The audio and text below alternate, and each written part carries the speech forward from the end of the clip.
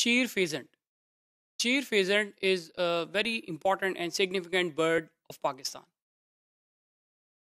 Basically, जो pheasants होते हैं वो long tailed birds होती हैं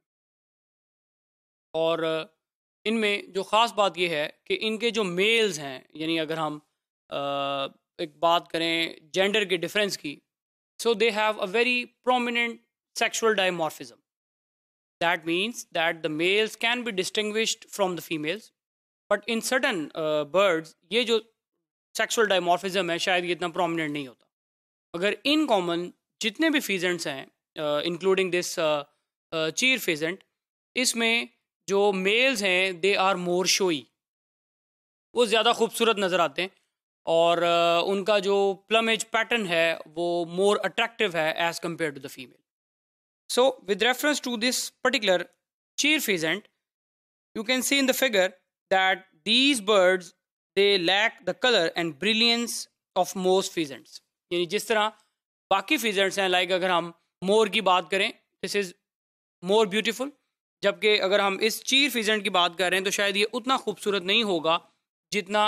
मोर या पी फॉल खूबसूरत होता है इसमें जो उस तरह की कलर वेरिएशंस भी नहीं एग्जिस्ट करती बहुत एक कॉमन से एक एक ही पैटर्न के colours throughout the animal exist कर रहे हैं। Like you can see here कि यहाँ पर इसके जितने भी फेदर्स हैं they all are blackish in colour while इसके ऊपर गोल्डन कलर कलरेशन हैं। इन कलरेशन को हम कॉमनली बफी ग्रे प्लमेज कहते हैं and they have a long grey crest crest is the structure which is present on the top part of the head like you can say this is the crown ये उनके head के ऊपर एक crown है, एक ताज है। जो इनका एक एक प्रोमिनेंट फीचर होता है।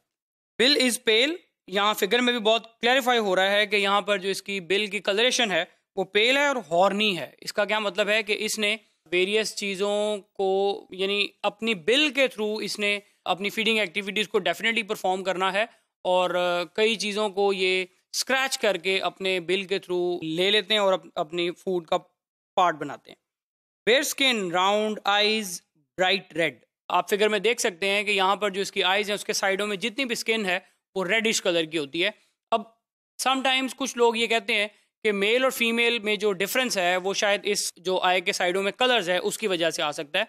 मगर देर आर सटन ऑर्गेनिजम्स जहाँ मेल और फीमेल दोनों में ये रेड कलर एग्जिस्ट करता है, जो बेसिक डिफरेंस इन दोनों में यानी जेंडर में आ रहा है, वो particularly with reference to size आता है। यहाँ पर भी आप दो फिगर्स देख सकते हैं, एक टॉप पर है जो ब्राउनिश या वही बफी ग्रे कलर दे रही है, जबकि नीचे जो कलरेशन है, वो कंपेरेटिवली डिफरेंट है। जो टॉप फिगर है you can see on the top of the head यहाँ पर बहुत विजिबल इसके क्रेस्ट हो रहे हैं, जबकि जो नीचे वाली फिगर है, आप उसकी लेंथ को थोड़ा सा एस्टिमेट करें with reference to the body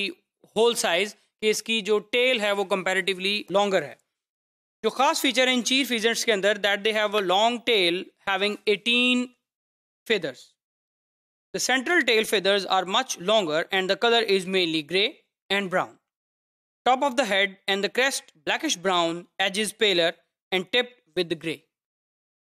here you can see difference between the male and female यहाँ पर जो रेड आईज के पास जिसके कलर है that is a male and that that seems to be heavier rather वो वाकई ही में इसमें वेट में भी इंक्रीज होता है और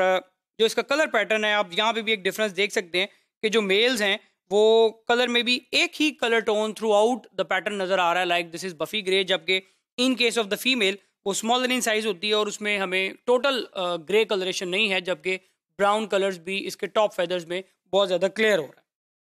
The female is slightly smaller in overall size, while the sexual dimorphism is slight. जिस हमने बात की कि overall the pheasants they are sexually dimorphic very distinct sexual dimorphism is there but this particular species sexual dimorphism को इतना ज़्यादा discriminate नहीं किया जा सकता, बल्कि अगर आप बहुत ज़्यादा डिस्टेंस के ऊपर हैं, तब दैन इट्स वेरी डिफ़िकल्ट कि दिस एनिमल इज़ मेल और female definitely for the comparison even comparison of the size और the weight you need another animal for the comparison if the single organism is there you cannot differentiate कि ये male है या female है. Birds have many vocalizations, including a very distinctive crowing. जिस तरह कवे कवों की एक ख़ास आवाज़ होती है, उस उस आवाज़ के अंदर ये एनिमल्स एक्चुअली इन, इनकी साउंड होती है और ये एक बड़ा पर्टिकुलर फीचर होता है कि ये चीर फिजेंट की साउंड है। Incubation is perform by the female obviously mother ही जो एग्स हैं, उनको इंक्यूबेट करती है और जितना भी मदरली ट्रीटमेंट है या जितनी भी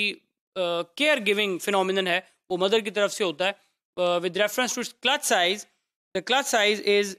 up to maximum ten eggs this is too much again कि इतने ज़्यादा